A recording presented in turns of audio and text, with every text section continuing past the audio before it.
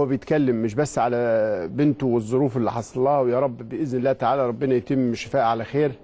لا وهو بيفتكر كام حاجة. في بدايتها هو بيتكلم على حجم الجماهير وحجم الحماسة يا باشمهندس وإزاي هذا الجمهور جاي بالكثافة الشديدة قوي. والوقت أنا عرفت إنه الجهاز دخل باللعيبة على أمل الناس هتنصرف ويرجع يتمرن. الناس ما قعدتش إلا لما ش... ما مشيتش إلا لما شافوا اللعيبة مشوا. بص يا أستاذ إبراهيم. قيمة هذا التقرير طبعا في كلام بس هتشوف طبعا ال- ال- ال- اللقطات من ال- الشوارب لسه برضو ما بيفرجنيش. يعني هتفضل أنت شوارب كده آه؟ لا يعني طب إحنا عايزين نتكلم في الحلقة بقى. طيب. نعمل إيه بقى؟ يا شوارب ما تضايقش يا أستاذ إبراهيم يا شوارب. طيب. آه، بس عشان أقول لك حاجة. آه. هذا التقرير قيمته ها؟ مم. أن ترى الإنسان ها؟ في أعماق هذا الوحش. الذي يبدو صارما ولكنه إنسان عينيه دمعت لما افتكر مشهد الجماهير ولما سئل عن موقف ابنته عشان تشوف حجم الصراع الذي يدور في صدره وفي عقله وهو يتولى م- مسؤولية بيختصر تاريخ كبير وبيختصر لحظات هامة. آه لازم في ماتشين آه عدى واحد وباقي الثاني ومطلوب منه أن يتواجد ويكرس كل فكر وجهده. وجمهور بيطوقه بكل هذا الحب وهذا الاهتمام وكل هذا التجاور مشاركه في ظرفه الإنساني وبعدين مشاعره كأب مضطر يكون بعيد في هذه اللحظة آه، عن ابنته أنا أنا شايف تقرير مهم جدا جدا وأعتقد إن آه، الكابتن حسام مع الجمهور والله بتبقى في لحظات كده ربنا بيهديها لنا عشان ت... طيب. آه ت... ت... تنور لنا حاجات كتير كمان كابتن حسام اتكلم على جزئية الشاب المعاق إسلام واللي من بدري قوي قال له أفريقيا يا كابتن أفريقيا يا كابتن أفريقيا يا كابتن.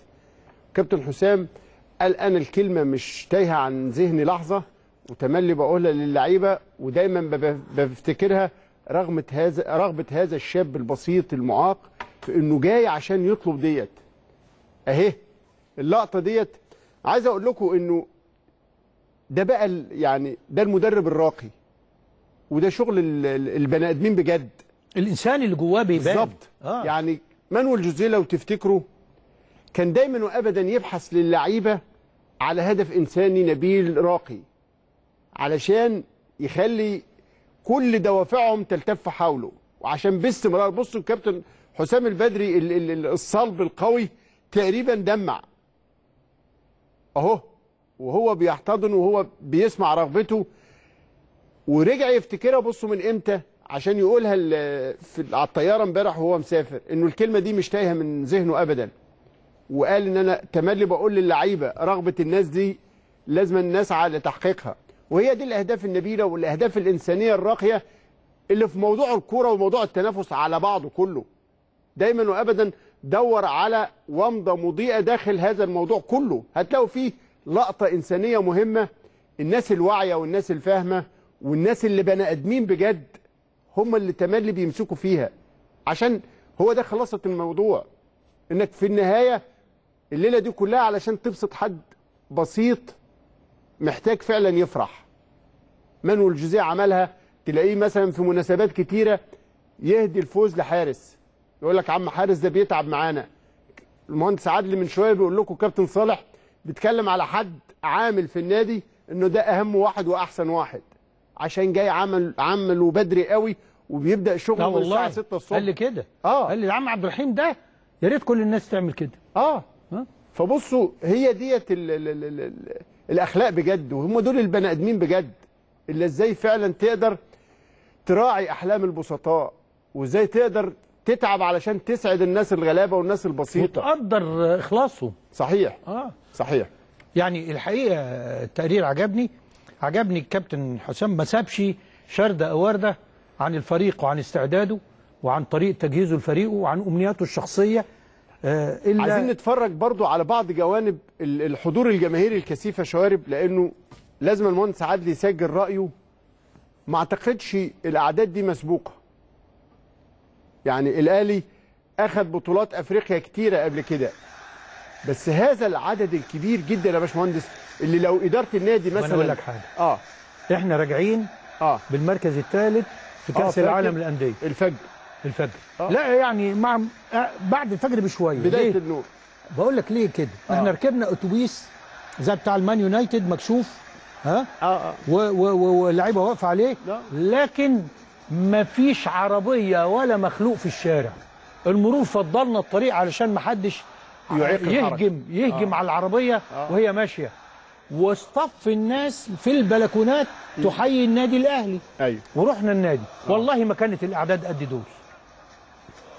لم صحيح. أرى في حياتي هذا العدد. هذا النمو. هذا النمو في تشجيع الأهلي الذي لفت نظر الناس جميعا لدرجة إن حتى أحد الزملاء الأستاذ إبراهيم فايق. قال لهم اللي أنتم شايفينه ده نقطة في بحر الجمهور الأهلي. اولا بصوا دول نقطة في بحر النيل. وللاستاذ فتحي سند وده مهم جدا. آه. وهو صديق زملكاوي جميل. آه. قال لهم يا جماعة أنتوا بتتكلموا في إيه؟ جمهور الأهلي عايزين تعرفوا عدده لما يكسب حاجة. بالظبط. تشوفوا حاجات ما غير مسبوقة. صحيح. لأنه لأنه اولا طبعا الناس دي معظمها أو غالبيتهم من القاهرة. أو القاهرة الكبرى وأطرافها. ثانيا فئة عمرية صغيرة. ما ما ما حدش يتكلم على بقية الأعمار اللي أكبر من كده أو اللي أصغر من كده. فأنتوا بتتكلموا على شعبية نادي. فعلا لو في إحصاء دقيق هتلاقيه على رأس أندية العالم شعبيه ونازلين بلا اتفاق لأن ما يقدروش كل دول يتفقوا مع بعض. يملك هذا العدد. اللي أعتقد أحد المراكز البحثية المعنية بقياسات الرأي العام لما قالت إن شعبية الأهلي في مصر 74 و6 من عشرة ده كان يعني من رقم 50 مليون. من 50 مليون. فبالتالي بيحبوا الكورة. اللي هم بيحبوا الكورة. بص يا أستاذ إبراهيم آه. دول عايز تفهمني إن دول متفقين مع بعض؟ ده كل دول يعني ثلاث أرباعهم ها الثقافة موجودة عندهم. الأهلي محتاجني هنزل أيوه. يوم يقابل أصحابه يلا بينا ويلبسوا التيشيرت الأحمر. شوف والمدرج يكتسي بهذا اللون. آه.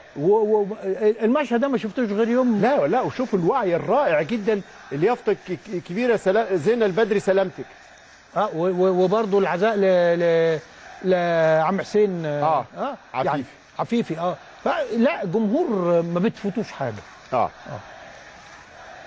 يعني مع على فكرة النهارده الصحف المغربية اللي صادره كلها بتتكلم على هذا الزحف الأحمر الهادر في ملعب مختار التتش. قالوا كده إنه أعاق حركة التمرين وإنه دفع المدرب لإلغاء الحصة التدريبية على حد تعبيرهم.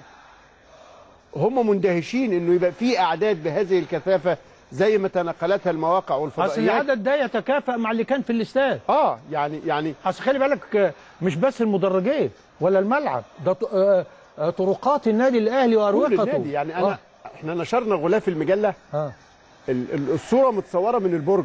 آه. منظر غير طبيعي. لما تتفرج على الصورة اللي اتصورت من فوق برج القاهرة للملعب. تجد النادي من بره آه. ومن جوه الطرقات يعني حتة آه، خط أخضر كده والباقي كله متاخد من ال- المستطيل الأخضر. فالناس نزلت أرض الملعب. ما كانش سهل ابدا. بقول لك الأهلي. وطن صغير. آه. وطن صغير صحيح. وبعدين هتافات والحمد لله إن هي عدت على خير. فكرة أهي أدي بص. لا ده دول لا دول إيه قبل ما؟ يكتمل العدد. آه. ده بعد كده خلاص الملعب ده مش هتشوف الأخضر اللي فيه. آه. آه. أعظم جمهور فعلا في الكون. أتمنى آه الجمهور ده لو شلنا الكاس أتمنى إن ياخد أحسن جمهور في أفريقيا. ويستحق الحقيقة. طبعا. يعني يعني دعمه للفريق يسترد اللقب ده للفريق. ودي هتبقى تطور هايل. بداية آه خطوة جديدة إن شاء الله. طيب آه يعني بالنسبة لمروان محسن مروان محسن نجم هجوم النادي الأهلي. امبارح كنت بسمع ميدو لما سألوه على آه، الفراودة في مصر وفي عجز فقال إن المنتخب كان سيء الحظ إنه مروان محسن اتعور في هذا التوقيت. وهو شايف إنه الفرود الأفضل لمصر في كأس العالم إن شاء الله. مروان آه، في الأيام الأخيرة أو في الفترة الأخيرة من تنفيذ البرنامج التاهيلي إن شاء الله بعد نهاية ال- دوري أبطال أفريقيا يبدأ يدخل في تدريبات الكورة لحظة بلحظه أو شوية بشوية. لكن بعد كل ده الزميل إبراهيم فايق كان له رأي إنه مروان جاهز من بدري.